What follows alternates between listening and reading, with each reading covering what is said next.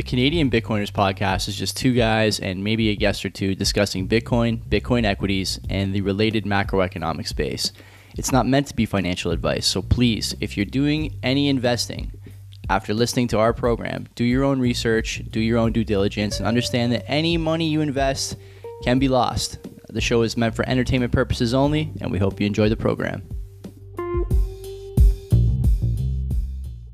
Friends and enemies. Jeez, that's the second time I tried going live. The first time they didn't work. Anyways, welcome aboard for another edition of the Canadian Bitcoiners podcast. Uh, so we'll be chatting with fundamentals in just a moment. Geez, the, the intro music didn't play for whatever reason. I clicked on the go live button. It didn't go live. We had a snafu, but whatever. Here I am.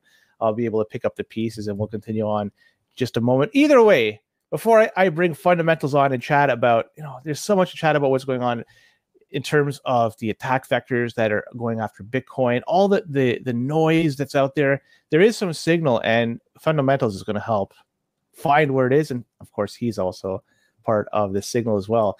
So, with that being said, there's a couple of sponsors I want to talk about.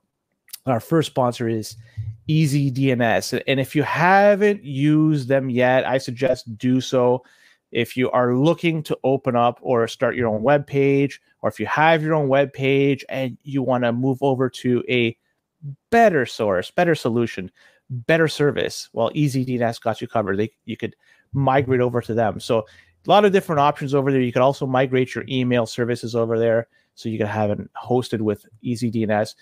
Virtual private servers, they have you covered if you want to do Nostr relays Nostrs are a really cool way to talk to people. It's a decentralized platform. Imagine Twitter, but without an algorithm and without all the the crap that goes along with Twitter. You could say what you want, you could do what you want, and you could be whoever you want on Nostr. You can also do node-less IO implementations with easy DNS Mm, these guys they'll allow you to buy with bitcoin. So you could pay with canadian dollars. I think they'll take even american dollars i'm not sure but certainly they'll take bitcoin. So they give you a lot of different options in which you want to pay and they'll accept your currency. Sometimes it's going to be fiat sometimes it'll be hard currency they'll be happy to take whatever you got to offer but they have top notch service. Mark and their team is always there to help out. They've helped us out quite a bit. We have started our canadianbitcoiners.com we're over there, and it's thanks to Mark and team we're able to, well, at least have some representation on the web. And so, if you want to have your web hosting done, DNS purchases, um, email hosting, you know, all this, you're not going to get rugged with these guys. They've been around for decades, it's plural, since the 90s. They've been around. A lot of other teams, a lot of other companies, similar companies have come and gone. So, check them out. And if you use our code CBP Media, you get 50% off your initial purchase. And we have a second sponsor, and that is Bull Bitcoin. And Bull Bitcoin is a great place to buy. And you can sell if you want your Bitcoin, although I wouldn't recommend selling it, but that's my financial advice. Do your own research.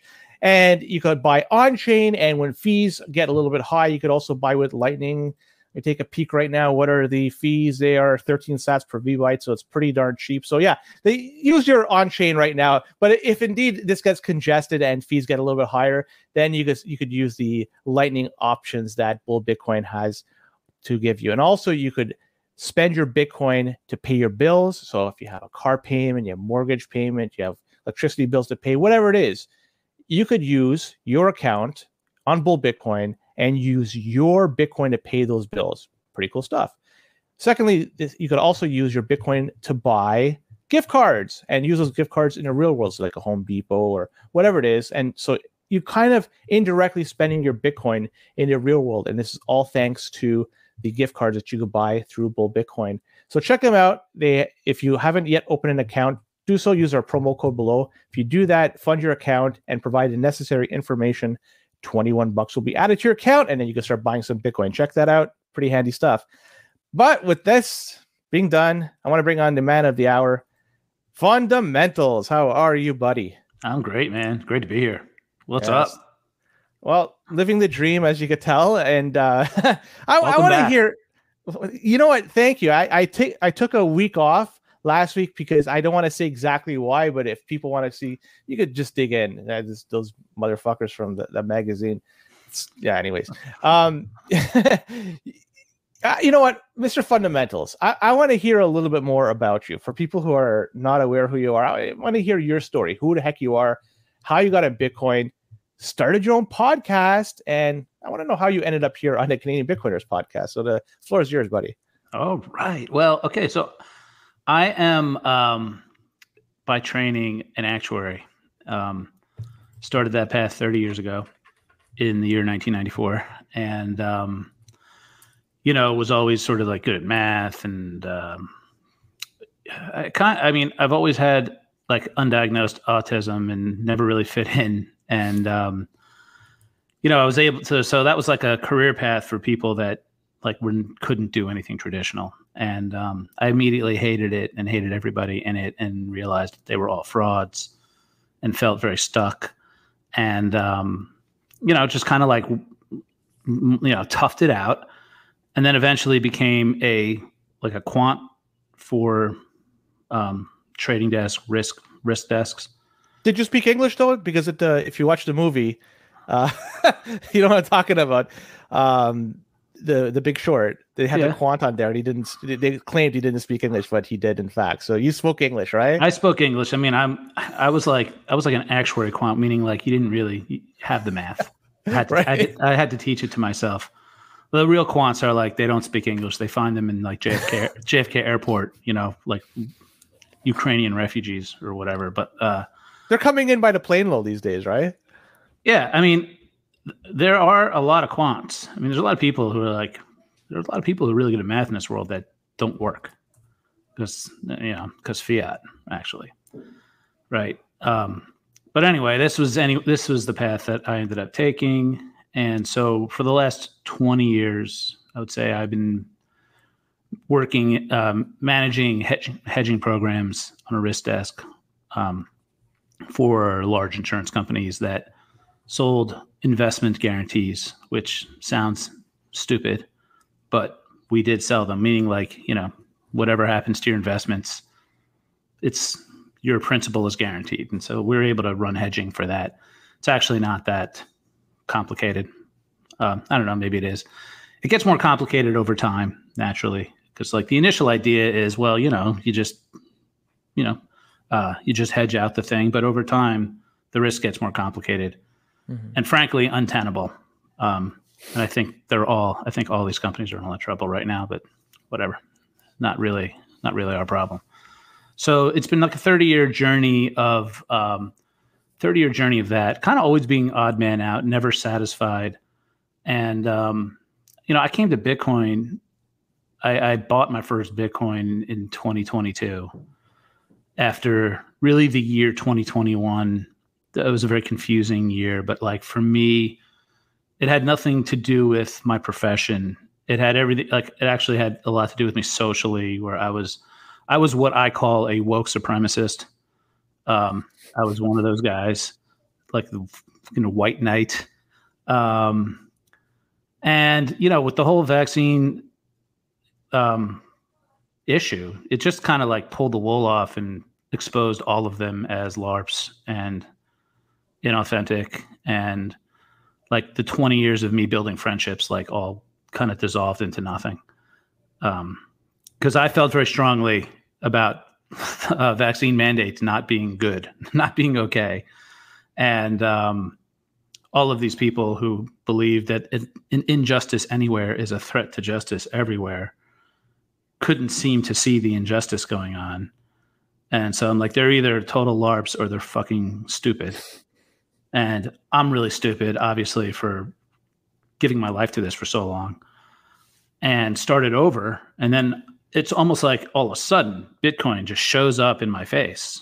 Like as soon as that happens, as soon as I realize what a fucking moron I am, uh, this this Bitcoin thing shows up. And for somebody who is you know very risk minded, quantitative, analytical, who also like very conservative financially, like live below my means since 2008 you know kept all my money in cash like didn't believe in the market i really didn't believe in the opportunities in the market i didn't believe that any of that growth was real just you know i just wanted to save my money like and that and mm-hmm. i didn't like i knew i was getting bled out but it I was like everybody else in like the 2010s was like, where's the inflation? I guess we don't really see it, you know?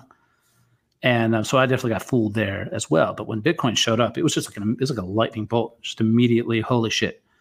This is not only is this the thing, but this is like, this is showing up now. This is like once in a lifetime, not just lifetime. This is like once in a hundred lifetimes. Mm-hmm. And I fell just I fell so hard down the rabbit hole. I don't even know where I am right now. Open your eyes. You're in the right place, which is good, and you're surrounded by friends. Absolutely. Some enemies too, but uh, and you know that's the way Bitcoin works. It's for everybody that wants it. Now I gotta ask you because you, you were knee deep. Well, shit, you were fucking neck deep in fiat for, for quite a while. Now, as you so slowly became aware about how money it helped out the people that were closest to it, backed by nothing, all that stuff. Did you look at gold initially? Because, you know, looking at hard money, something that has value that's hard to reproduce and difficult, in this case, difficult to mine. Did you look at gold as an opportunity, something to buy before you even got into Bitcoin? No, I did not. I was psyoped, I would say, by um, the investment class that laughed at gold and I never even heard the phrase Austrian economics until January of 22, watching Nobody Caribou's video where he casually mentions Austrian economics. And I was like, what the hell is that? Yeah. See, a, a lot of people, I mean, good for you that you avoided gold. Um, I, I did buy a little bit uh, into the ETFs. Um, I, I, I was for a period of time a gold bug, and thankfully i am no longer in that group just I, I, understand the value of it but just the manipulation and the the problems of custodying it and you know it's it's very difficult to custody it it's very difficult to move it over distances and bitcoin obviously it solves a lot of those problems so luckily for me i got out of it and uh, yeah. good for you for never getting into it. But I mean, I'd um, love to be able to say I saw through it, but honestly, it was just ne- it never entered my radar. Like shit coins. I mean, it's like I didn't see through those either. I just it just never occurred as interesting or anything I should pay attention to. So you never bought into, never dealt with shitcoins, traded it, any of that? Nah. wow, good for you. See, I. I can't say the same. But I came I, in I, in 2022. You got to understand. So it's like I think that by the time like by the time I might have like by the time I might have come up for air and seen it as interesting, they were already blowing up. It was already like already Luna was gone. You know, it was already like yeah, disgusting. That's fair. Uh, you, surprisingly though, there are people that are coming into this space even in the last 12 months after you they don't see that they see shitcoins as an opportunity to make some tremendous gains over a short period of time. They're not looking at the fundamentals. They're not looking at the people behind the project. They're not looking at the fact that it's a scam. So they're also not even looking, though yeah, they're not looking at the fact that well, I mean, in the best case scenario, it still pays out in USD slave money, and it's like, like, what's the fucking point, right? Yeah. Like they're just looking for gains. So there's a class of people, even in Bitcoin, they're just looking for gains, right? Well, eventually you guys started a podcast. And yes. I want to hear about uh, that because that's yeah, that's an right. interesting journey. So go ahead. Well, um, very quickly into my journey, it became apparent that I was going to have to find at least a meetup, or else my wife was going to murder me. um, like I think two or three months, and I, I, um, I think I had a call. Like I, I, um, I had a call with like uh, Swan Private just to ask some questions, and then I think I was talking to Terrence, and I was like, "Hey, mind if I run, like run some ideas by you?" And he was like, "I think you better. I think you should find a meetup. I think you, you know." And then so I did. Right. So I found. I, I, could, I realized I couldn't even get enough of meetups, and then I found out that there was a meetup 90 miles away, and I went to that. Um, was it in your state? In my state, yes. And that's where I met Business Cat. I was actually on my way to do a college visit with my daughter. And I knew I had known that he had scheduled a meetup on that day. So I stopped by and met Business Cat. And it was just like, you know, sort of immediately just kind of like the Terminator, you know, just immediately recognized him as like fucking partner. You know, we didn't, we didn't really, it took I started going regularly to that meetup. So I started traveling regularly to that, and you know, I go to like five or six meetups a month.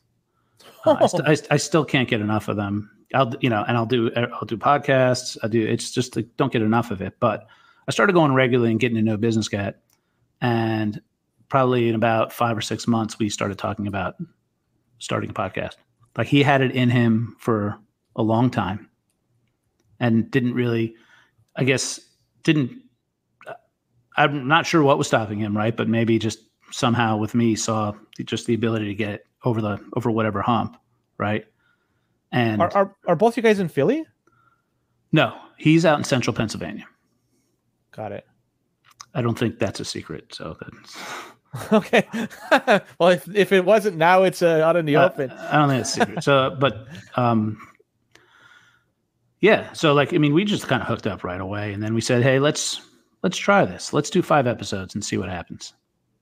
And so, uh, I think I mean, we did about we did five episodes, and three of them we didn't air because they were like three hours of garbage. Um, but so I think we just ripped. We're about to drop it tomorrow. I think we ripped 38, number 38. So we've done over 40. We've probably had five that haven't made made the airwaves. And um, you know, he and I really do have the same sensibility. Like we I, we don't. We started out really not caring if anybody even listened. Like we are like God is listening. and we are going to do this because we're creating the world we want to live in.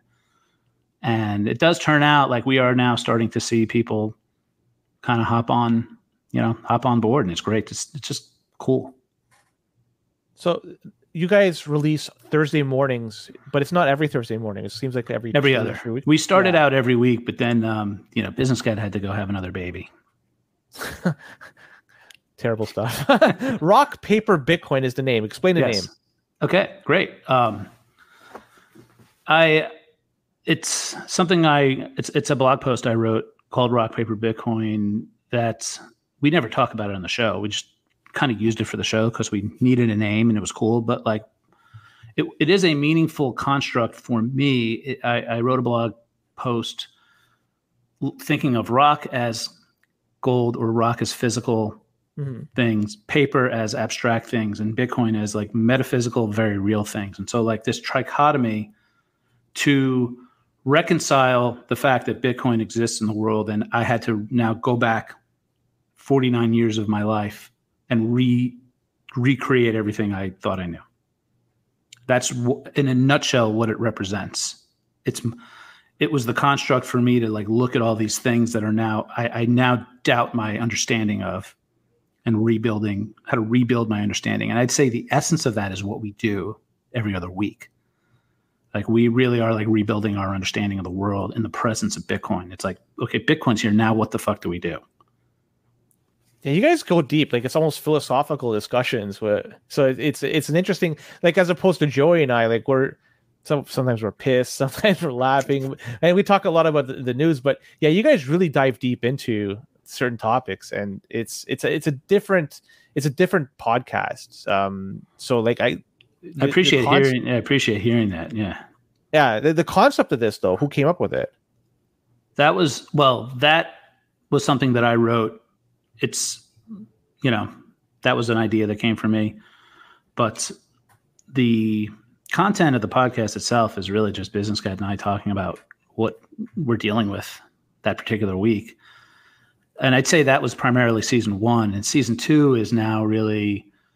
Um, I see it's like you know Frampton comes alive. This is like Business Cat comes alive. Like he's been holding back, really his real depth, and in season two, he is going very deep on something he's been researching regarding the magnetic pole shifts and yes, yeah, and, and it's slowly moving. And from what I understand, it made they may switch The north and the south pole may switch over a very long period of time is that they likely will like we're at the end we're nearing the end of a 12,000 year cycle that um, could be very bad um, if you know what i mean like even the con- the things in the knowledge system suggest it's going to be really bad so then we're obviously not going to see it. So it's not going to impact us, but it's going to be our descendants. We might see it. No, we, we might. You think uh, so? I'll say this. um, I refuse to believe that Bitcoin comes when it does, only for it to say, haha, fuckers, now go fucking die in a magnetic pole shift. Okay. So I believe that Bitcoin somehow is going to interrupt interrupt this somehow. Whether it is um, we get the attention of the aliens who now maybe believe we're not going to kill each other and they're going to give us the answer, you know, or maybe we select the smartest people to go live in citadels with and find find the parts of the earth that are going to be okay. I mean, maybe it's some natural selection will, will just do this. I mean, people will tend to over time, you know, between diseases and killing each other, they could just you will have the the best and brightest and strongest end up living. It's just just just natural selection, right?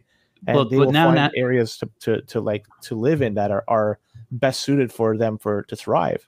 But natural selection now, like natural selection has something now that it never had before, which is a lo- like selecting for a low time preference, selecting for people who actually are incentivized to win with each other.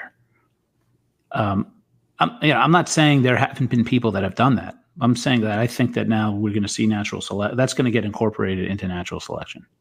Yeah, it's it's inevitable because this is just ingrained in our history, and this is the way. You know.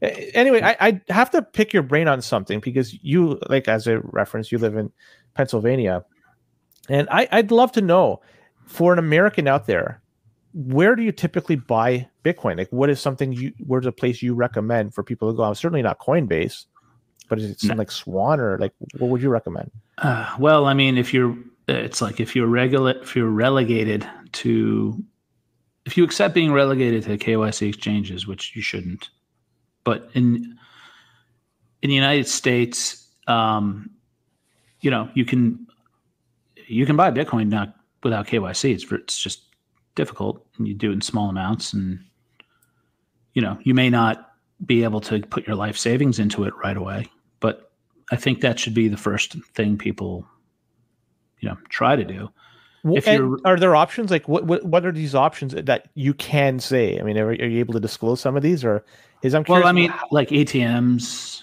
are an option you know buying from friends is an option so buying peer-to-peer. from peer-to-peer yeah um, I'm not that familiar with Bisq, RoboSats, and the platforms people use. That's something that I'm working on. You know, like I I've recognized that I probably am deficient in the no KYC SAT arena. So I needed to just put that out there and then say what I do know, where I buy KYC, you know, exchange Bitcoin. I think River is a great place to do yeah. that. Um, yeah, that's probably my preferred place. You know. What are your thoughts on Swan? Um, I'd say not a. I'm not a fan of their business, to be honest. I like I, I like their content. Um, but I have. I'll just say this. Um, I have. I was very dismayed by the Prime Trust debacle. Yeah. I talked about it on my podcast, but I'll talk about it here that they entered a very, uh, you know, kind of very cozy relationship with Prime Trust. They had Prime Trust be the lead sponsor of their big conference. And it turned out that Swan was the last company to see that Prime Trust was going to go go down. And the last company, meaning like strikes, the folds, the Coinbits of the world, right? They all that you know they all jumped off the ship before Swan did, and Swan ended up nearly having their customers' keys in the hands of Ripple. Yeah, like, I like this is such an objectively bad outcome that there should have been, um, there should have been widespread apologies and contrition, and there wasn't anything even close to it. So uh, that that type of stuff really bothered me. Yeah, Cory seems to have. A, let's be honest, he took a beating for a period of time. He, both he and Swan, but it, it seems like a year later, not quite a year, that it they just kind of parried this attack and and they've gone, they moved on. Especially an, another piece of news that came out of them when when it was announced they're doing Bitcoin mining, and that came out of left field. I, I had no idea they were even considering, and a lot of people had no idea. So it just seems like that you know news like that and continuing Yeah. on with the Pacific Bitcoin conference and stuff. To be just, fair, it seems like oh, yeah, sorry, I'm just saying. To be fair, right? When I first heard the mining news, I was like, "Oh my god, yet another thing there, another another covert operation that is not part of their core business or not part of anything they're asking people to trust them for." But to be fair, it is something they do well, and they you're right. It's something they're competent in, so I have to give them credit for that, right? Yeah, it, gathering that type of hash rate, the, the those the amount of ASICs required to do it quietly and then uh, to find a place to energize it, it's it wasn't an, an easy operation. Let's let's be honest. And to, to but the, another thing they have going for them, at least right now, is they're not publicly traded. If they were publicly but traded, maybe this information would have been more readily available. Right, but their whole desire is to become at least publicly funded. Uh, They are still going. Oh, sorry. Go ahead. I'm just saying that's what led them to have the Pacific Bitcoin Conference and the Prime Trust sponsorship to begin with, which is really to me the for that's the thing, you know, that's the straw that broke their back. Right? This quest for public money. And so I this is another inauthenticity I just point out is that they say they're Bitcoin only, but you know, they're really seeking fiat money. They're a fiat company, you know. They uh, well, but they Yeah. they provide they have you know they have very competent bitcoiners there a lot of friends that work there right i mean yeah. you know it's uncomfortable to criticize them and all that stuff but i don't you know i i just find that i just find certain things so upsetting that i can't not i can't not talk about that Yeah. it's my school well- it's my school that my kids go to? We actually they went on a journey and decided to go buy bitcoin right? They did it through swan. Um like fine right? I mean i you know i had a little bit of like a little bit of influence but like i didn't have enough influence to say look you know maybe maybe you should just at least look at a couple of other options. But the, the person in charge just he saw his access. He was very you know very impressed Yeah. by what you know what he saw in them and understandably because that's what they do right? They project a great image.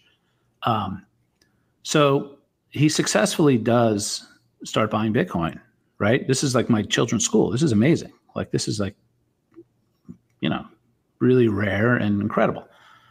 But then um like his board starts they started freaking out about bitcoin in general. And the the easiest attack vector they found for him was swan because all they did was just there's like who's the swan? They googled it and then they just found like you know they found all kinds of shit. And so you know frankly that put my school's dean and me in a like a really bad spot you know? Um and I'm, i am upset about that. I, I take it they don't go to Ohio State. no, they don't go to Ohio State. Um, Yeah, I- you- I- it is a Waldorf school. Do you, yeah, I, I, you know, yeah, I saw the Ohio State thing. Because that was pretty funny that the fact that that guy was talking about Bitcoin. I didn't think he did a great job at selling it, talking about ETFs and the, the attack vectors and the, all the problems, the hacks they've been solved by the these new ETFs. But it's just funny to see that there's so many people out there, young people at that. They, were- they were not impressed. They don't get it, and they booed the fuck out of Bitcoin. I mean, that was the on. story. The story wasn't the kid. The story was the twenty thousand other kids. Right? It tells you how you know. I'd just say th- these are students that spent four years in one of the finest institutions in the land. You know, and their you know their finished product at their you know at their uh, graduation ceremony as a finished product basically sees a choice to either ignore cheer or boo bitcoin and they boo. I And pretty pathetic. It is. If you figure that anybody, if a group of people, if I had to categorize by age, the group of people that probably get Bitcoin the best, I, I would right away I would say the younger folks, the people graduating college, just because they truly understand that the price of shit has gone up so much that they have no hope in hell to succeed the same way their parents or grandparents did. And why did this happen? Well, because money is not hard anymore. You could make it very easily. And when you have more money chasing the same amount of goods, well, obviously the price goes up. So I, I can't understand how they could they could look at Bitcoin and understand the fundamentals behind it and still boo it. Like I, well, I'm might just challenge you for a second though because i'd say that Go ahead. I would say the better group to get it would be kids that are about four years after college. Okay. that they've been working and now they really see that it's never going to happen for them. Like they see that their entire life is a bag of water with a bunch of holes in it. And you know like they, they just know now they are totally they know how fucked they are. These kids still think like these these college kids i mean they're more concerned with saying the right word for like neurodivergent or whatever cis bi gender polarized whatever. They're, they're more they, they, they're still more concerned with that shit than they are about inflation or economics. They're they've been living for free for the last four years right in a sort of elite conditions. Um so i I- i'm just saying like I, I, maybe i'd be really shocked if like you had a bunch of kids who've been working for four years already Mhm. um because those guys know like those guys definitely know And I'm wondering how many of those are chomping at the bits of having their school debt because I'm certain that a decent proportion of the people that are graduating are carrying debt from school. School's not cheap. So they're they're probably looking at the fact that there may be a possibility of having it forgiven. And so they're Yeah. probably looking at this. And this coming election is going to be a huge thing for a lot of different people. Like, have I mean, I you see Biden every so often. There's another announcement of another swath of debt holders that are going to be forgiven. It just seems funny they're doing this over and over again. And I'm wondering if this is going to be um, they're just going to go right to the end and say everybody that has any sort of debt, any sort of school debt, uh, education debt, that they're going to just cancel it altogether and just yeah i find that hard it- to believe because that, first of all student loan debt is you can't even default out of it it So- carries with you for life. Yeah, you can't. You may not default. Like you can't. Bankruptcy will not protect you from student loan debt. Here's a dumb question: What about death? Does it carry to somebody else, or is it what happens at that point? At that point in time. I'm guessing you're. I'm guessing you're out once you die. Okay, so it's, it's not like you're you're in the people. But I know you're like yeah. But it is like exempted from all of. It's like the only version of debt that you can't actually wipe off through bankruptcy. And that's why there's Father Biden over there able to say with a stroke of the pen, "Yeah, fuck you. you we will make sure that somebody else is going to pay for it." You. But what I'm you- saying is, it's more likely that what the government will do would be to say, pause, like say, oh, you know, we'll just put a pause on you having to make your payments for, for I don't know, four years, you know. what does that do? You're kicking the can. Yeah, uh, but that's what they. That's really the only tool they have. You know, like I think that they, they, it would be absolute chaos if they just canceled all the student loan debt. I mean, there would be there, there would be guns and riots. You know, you take people who you know who did the right thing, right? They are going to get radicalized and fuck shit up if It does seem like we're getting awfully close to a to a watershed moment like that, right? Like you, if you look at, for example, just the general population, uh, everybody's feeling the pinch. No, not just the poor, but the rich. The rich could easily absorb it, but the people that are lower income, middle class, they are really feeling it because their lives have been drastically altered in the past four years. The stuff that they could buy a few years ago, they can't now. They have to ration their money, be careful with their money, or just tack it onto credit cards and deal with it at a later time. But I mean, there's I'll give you an interesting stat that they say that 29% of the population in the United States have jobs but struggle to cover basic needs. This is as per CNBC. And if you look at that's like a sizable amount of people in the United States, it's not going to take much for them to basically get their pitchforks and torches Yeah. and storm whatever's nearby and just say we want we demand a change right you, you must see this you live you, you, which city do you live in i don't it's I live. you want to say it I live um, in a Philadelphia suburb. okay i thought you lived in, in the actual because philadelphia itself has been I, I see videos of zombie people just walking. It, it's not good over there. No. it's not great. It's so bad. it's just a matter of time before other people are just like, "What the fuck is going on here? We got to do something." So I'm looking at all this. I, I'm surprised people haven't yet just fucking demanded massive changes. But we're if we're not there yet, we're awfully close. What do you think? Yeah, I mean, I, th- I think that look, there's only so many ways you can buy an election, and they're all going to make a lot of people really angry, right? Yeah, you know, 2022. Well, forget 2020. I mean, right? That was probably the the most agree like egregious. Um, you know, that was the most egregious year of a buying the election, rigging the election. Who knows what? I mean, who, nobody really knows what went on. We all, only knows that a massive amount of money was printed. In 2022, yeah, we had they were flirting with the student loan forgiveness, and we drained the strategic petroleum reserve. Right.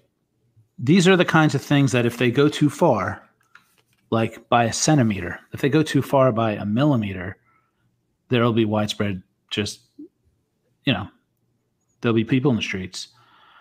Um, but yet that you know somehow they seem to be very good at knowing exactly how far to go. I mean, the, the, next thing is Social Security, right? All these people have been paying into Social Security their whole life.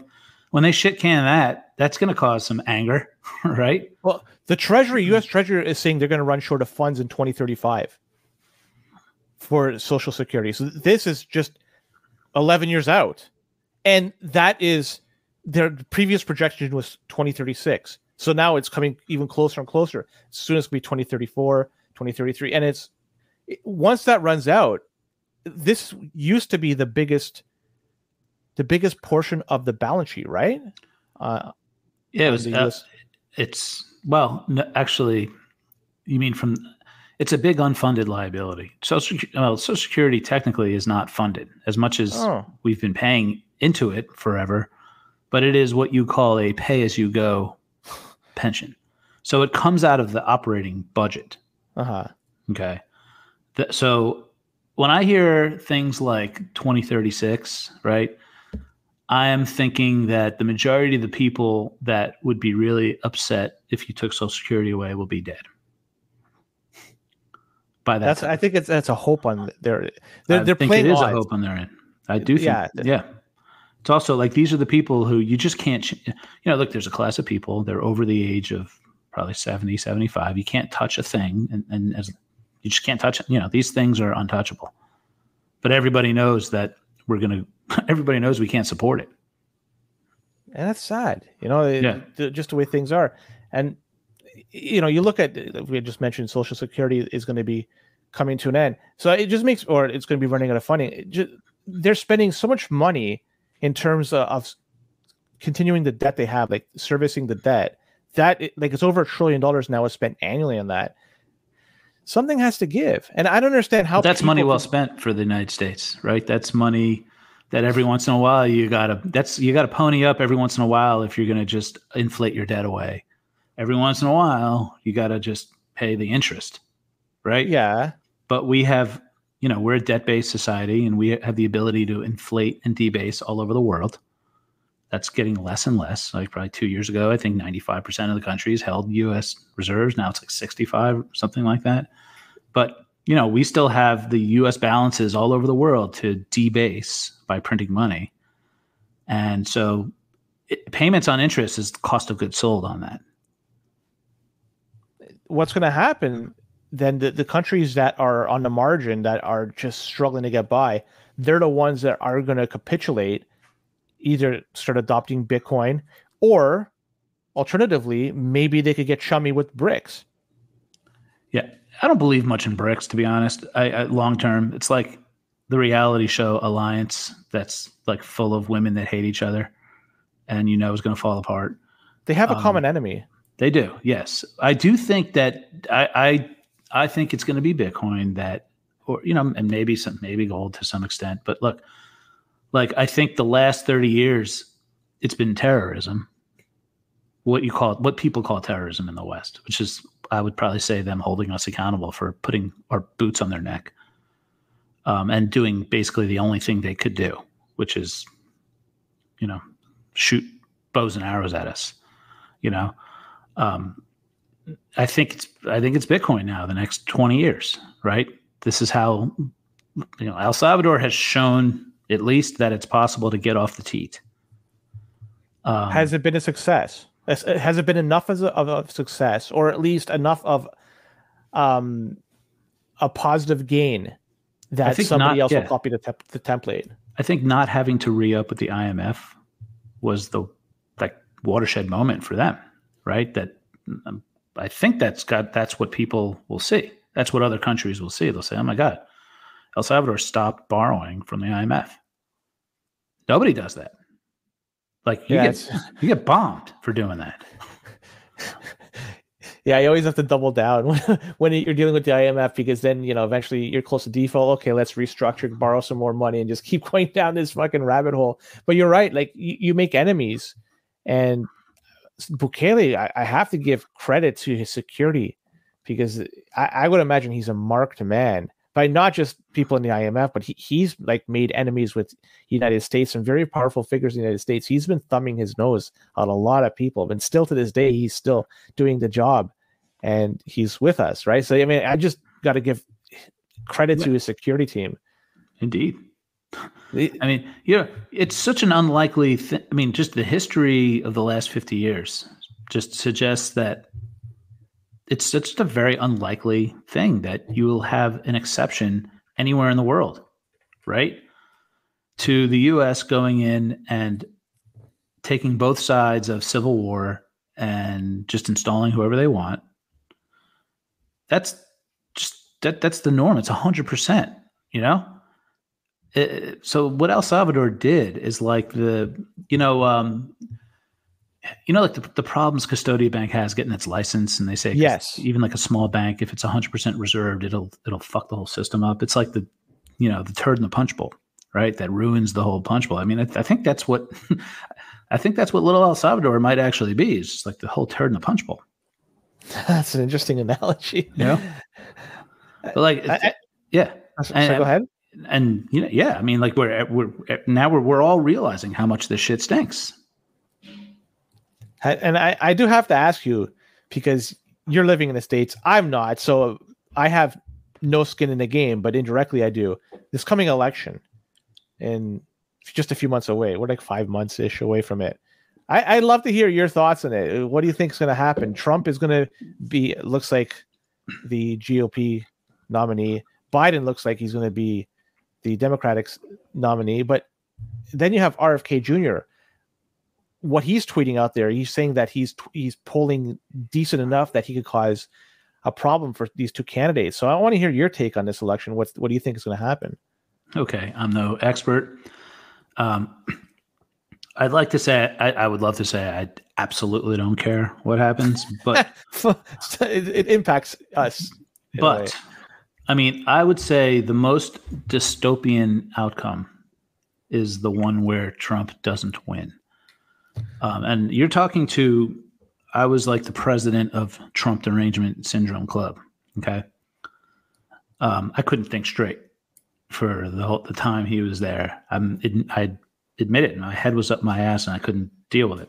were you yelling when he was uh, when when he got uh, sworn in? Were you out there yelling at like that that great meme that's on YouTube? No, I just it just hurt. Like you know, the like for me, I, I felt just hurt by the whole thing. You know, I really felt like me, the idealist that I was about what American values are, what I thought they were. You know, I was look, I was watching like CNN all fucking day. I, I mean, you know, it was it was bad.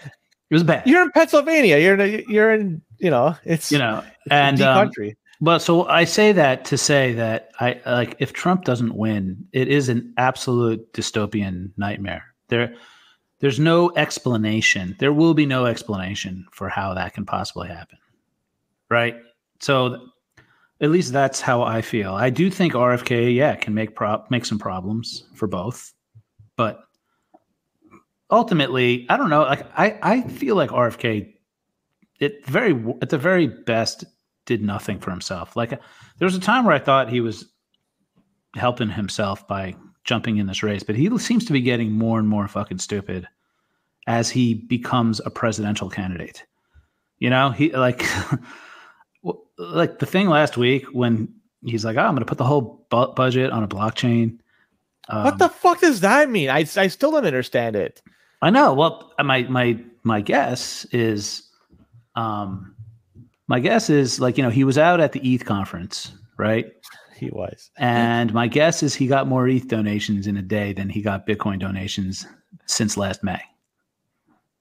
Right? Do you think he, he's going to speak again at the next Bitcoin conference? I'm wondering if he's Probably. be He probably will. But I, I think that he has bought into the shitcoinery.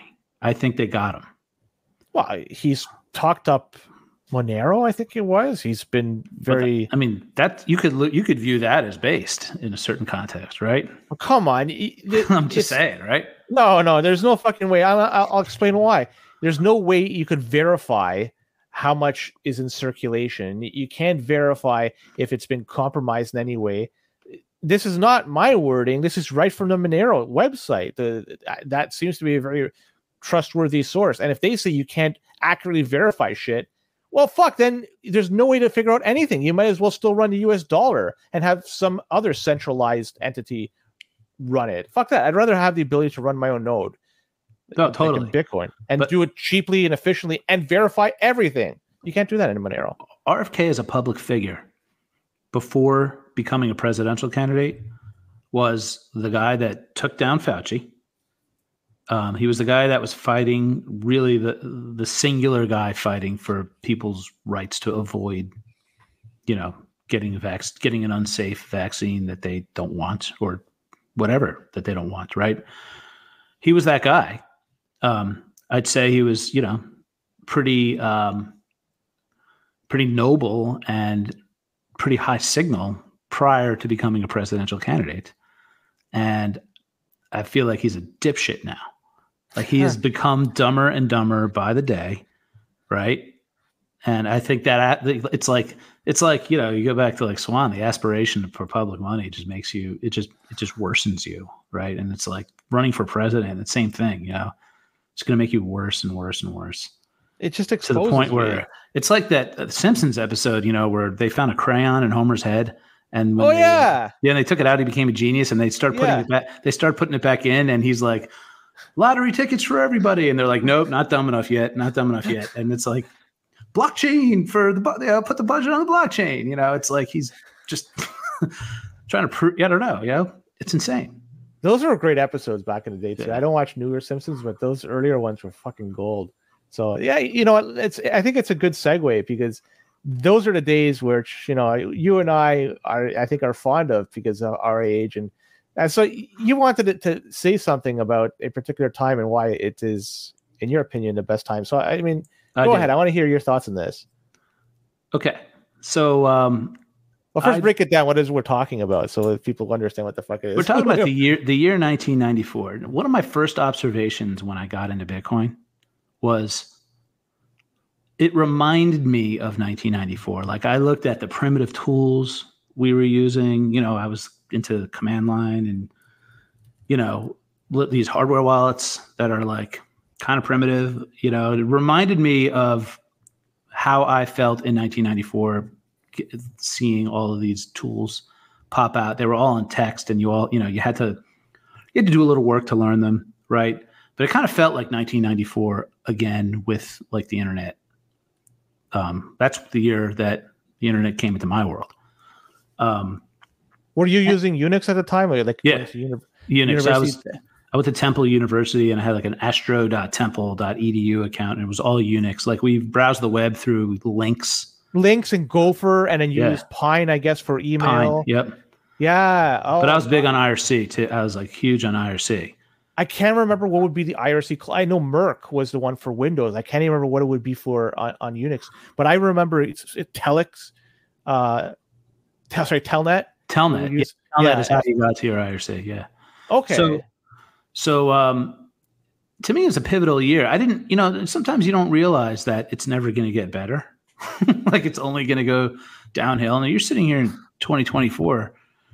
I go back to 1994 and I'm like, damn, that was maybe the greatest year, right? I have a, like a, a small list of things just to just to take us back to 19. I want to hear it. All right. It Um, may be 2024 out there, but in here, the CBP at this particular moment is 1994. So I mentioned about I mentioned like the internet Usenet groups IRC, like the internet. Yeah. Okay. Now your yours and my favorite game, NHL '94, which There it is. happened. I mean, let's be honest. That was 1993. But, It but released uh, latter half of '93. but it is you know Yeah. it's NHL '94. Okay, and it's the goat of games. Okay, uh, I agree. Okay. Um, you know, most of us were just, I'll just say myself, smoking weed in college, playing NHL 94, and then the internet came along. I mean, great. you were the idiot savant, weren't you? I yes, I, I, I was. We get into that. Let me, let me get through this list though. This is so, um, mo- I'm to just name them some of the movies that came out in 1994. Pulp Fiction, Shawshank. I was Shawshank to say that right away. Pulp Fiction. What a Dude. great movie. Incredible. Shawshank Redemption, Forrest Gump, Dumb and Dumber, Clerks, Ace Ventura: Pet Detective. God damn, right? Good year. You can't. I don't think that that many great movies have come out since 1994. I might say. Okay, uh, you had OJ. Yes. Okay, OJ murdered his wife and a waiter, and and you, it became the media circus we all found it to be incredible. Um, there was another great, all-time great video game called NBA Jam. and yes. it, it existed in a time of arcades where you could play the stand-up with a friend, two on Yeah. two. Incredible. Um, now here's one that here's the last thing on my list, and it's a little a little relevant to NHL '94. I say, okay, so I talk a lot about this band Phish. I don't know if they get they didn't really they didn't really get big in Canada, but I had some friends in Canada who were definitely into them. I'm not familiar with them. So Phish is probably so in 1994 they were basically the band that was going to take the torch from the Grateful Dead. And it turned out in 1995 Jerry Garcia died and that's exactly what happened. And Phish became like to the point where, you know, there is no second best. Like they they're in a category by themselves in popular I'd say popularity, staying power for a band of that a rock band and a jam band of that genre. But in 1994 they began something that they were very known for, which was a Halloween tradition where they would cover an album. Okay. So they would be, they would like putting on a costume, they would cover an album. And I talk about this in relation to the Halloween 2008 release of the white paper. In Hmm. 1994, Phish did the Beatles' White Album. I heard you talk about this. Yes. So they, they, they began, and, and Mark Lesser, Mark Lesser, the not the creator, but he he was really the what was he? The coder. He, he was the programmer behind 94, 95, Yeah. So bet- and a whole bunch of other games too, by the so way. So I saw Mark Lesser in an NHL '94 documentary say that he was living up in Maine, okay, Mhm. while he was making the game, and he believes that there were there was a special spiritual thing happening between him and the people that he was with, right? Number one. Number two, the University of Maine hockey team was going on this championship run that had never been seen before. Paul Kariya was part of that team, right? I do not know.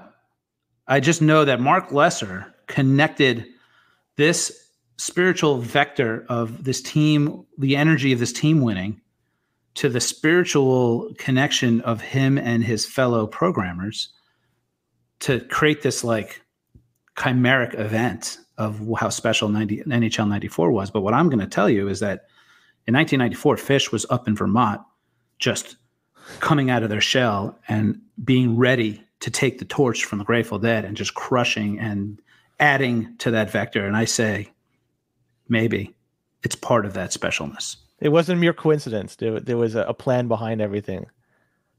That's right. And there were a couple of things that were not so good for Canada in 1994. I have to disclose. I have to disclaim. Okay. Well, so Leafs they- got blown out in the the semis against Vancouver. well, so the um, yeah yes the World Series was canceled when the Expos were fucking crushing. Yeah, they had a good team with Larry Walker, Pedro Martinez. Yeah, they they were they were poised to win that all that year. So that was kind of rough. And you know, yeah, the Canadiens winning. That was like the I think that was the last time Canadian team won It was the year before. It was '93. They won. Yeah, that's right. And and but that was the last time any team from Canada. I don't know if that's happened. I don't. I don't know if that's been broken in the last few years, or if that's still the case. No, no, it's the same thing. They have no Canadian team has won a Stanley Cup since 1993. The Habs. So Canada paid a price. However, uh, Fred VanVleet was born in 1994. So um, you know, Who's he? he is probably the reason the Raptors won the championship in Okay. I, I don't watch the much sports in the past 15 Yeah. years, including basketball. So yeah, there you go. So there, There you go. yeah, Um, now NHL '94 really was um, it really was special to me growing up, and I, I have to say, like I felt an immediate connection to you, finding out that a you know the game still exists, and b that you're so you know so into it, right? Because that's it. I was that There's- into it. So there's a bunch of guys from Philadelphia that apparently are really fucking good in the game. They there's a tournament that's run every year called the King of '94, Yeah, and in the early editions of that, it's now 10 years ish or so. It's been running. The early editions, apparently, these guys came out of nowhere from Philadelphia, came in and just fucking cleaned the clocks of a whole bunch of people. And they don't play online; they just play amongst themselves. And I think they call themselves the Four Horsemen or something like that. Just four guys, just.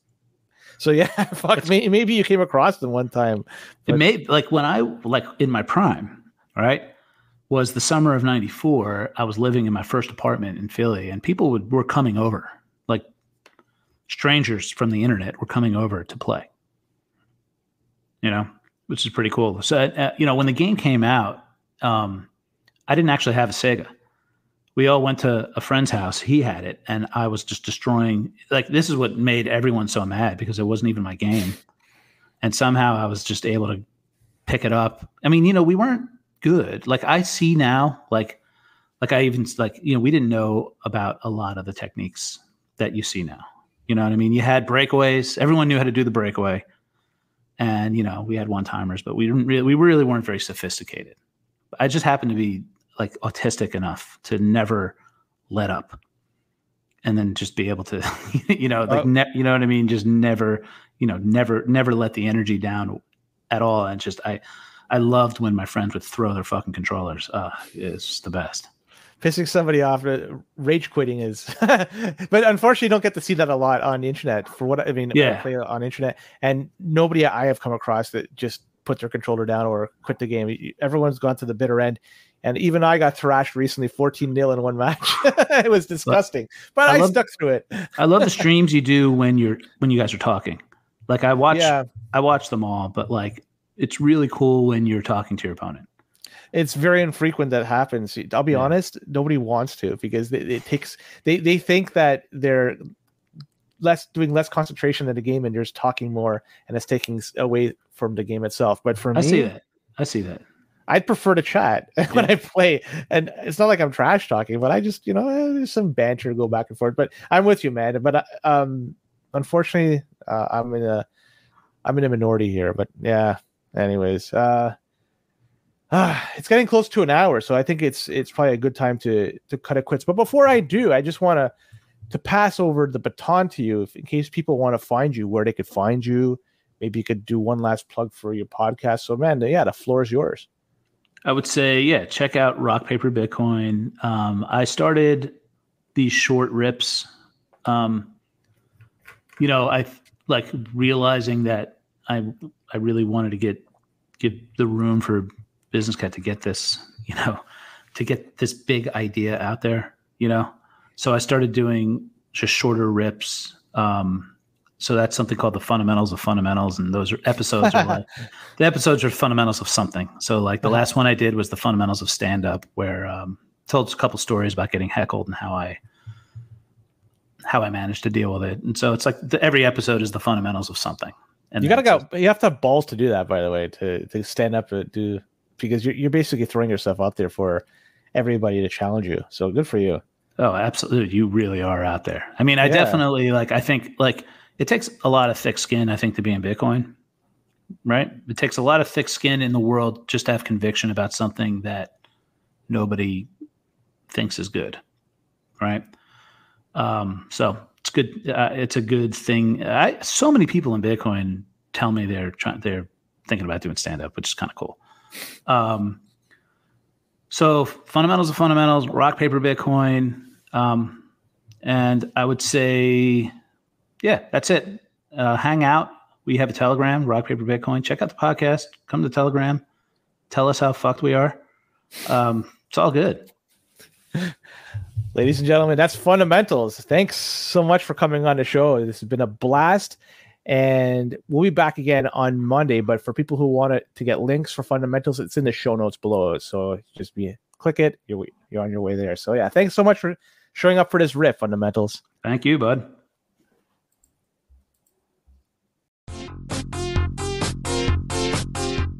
Are you a fan of the old school NHL 94 game on the Genesis or SNES? Why not check out my show, the NHL 94 podcast? From tournaments and tactics to the people who make up this community. Check it out wherever you listen to podcasts or find it on YouTube.